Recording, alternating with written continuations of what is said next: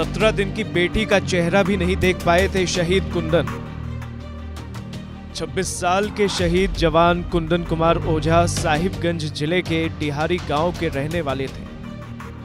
देश सेवा का जज्बा और दुश्मनों को मरते दम तक चुनौती देने वाले कुंदन ओझा देश की रक्षा करते हुए शहीद हो गए। शहीद कुंदन के गाँव को अपने बेटे पर गर्व है। उसने भारत माँ की रक्षा के लिए जान की बाजी लगाई बस दिल में इस बात का मलाल है कि वो अपनी बेटी का चेहरा तक नहीं देख पाए। सत्रह दिन की बेटी के सिर से पिता का साया उठ गया।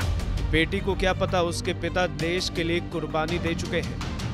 हालाँकि इतना तो तय है कि बेटी जब होश संभालेगी तो पिता की कुर्बानी के बारे में सोचकर उसका सिर फख्र से ऊँचा रहेगा। भारत और चीन के बीच सीमा विवाद को लेकर एक महीने से ज़्यादा से भी तनाव जारी है।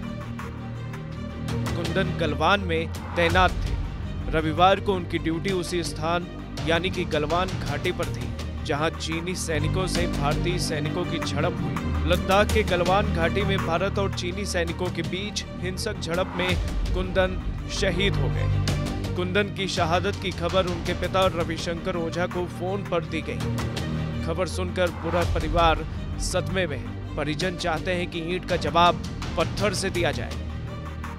चीन की कायराना हरकत का जवाब कड़ा सा कड़ा मिलना चाहिए।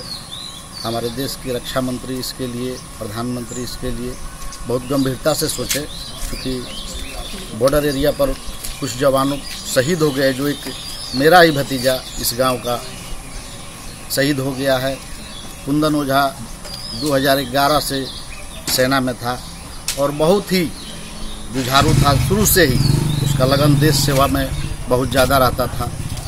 और आज देश की आन बान की सुरक्षा करते हुए आज बॉर्डर एरिया पर शहीद हो गया है, जो इस गाँव में काफ़ी मातम छाया हुआ है, लोगों में गुस्सा है। पहले से चीन तो कोरोना जैसा महामारी से पूरा विश्व को परेशान किए हुए है।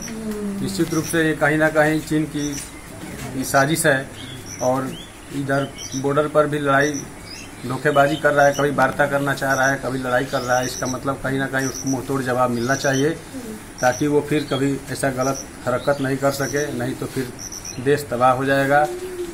और छोटा भाई है, दुख तो पूरा परिवार को है, मातम पूरा छाया हुआ है। हम हमारा यही कहना होगा कि जो शहीद हुए हैं भाई हमारे, इनका बदला अवश्य लेना चाहिए। किसी भी प्रकार से चीन को छोड़ना नहीं चाहिए। हम लोग उनके साथ हैं, देश के साथ हैं हम लोग, किसी भी पीछे नहीं हैं। परिवार वालों के अंदर दुख है, लेकिन इन सब के साथ शहीद जवान कुंदन कुमार ओझा का इंतज़ार सबसे ज़्यादा किसी को रहेगा तो वो है उनकी बेटी।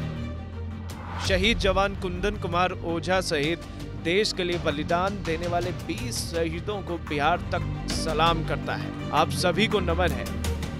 ऐ शूरवीरों, ये देश आपको सलाम करता है। फिर से आओ इस जमी पर, ये धरा आपका अभिनंदन करती है।